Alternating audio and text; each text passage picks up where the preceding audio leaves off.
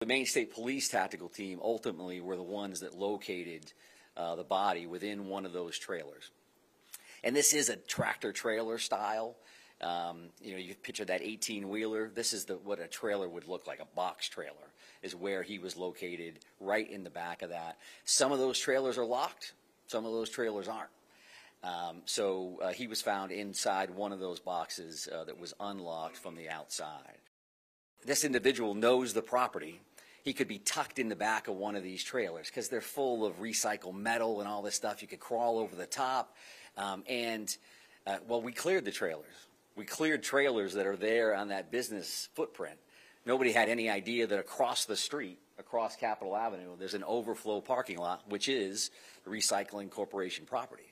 So the owner was very diligent to say, well, did you clear those trailers?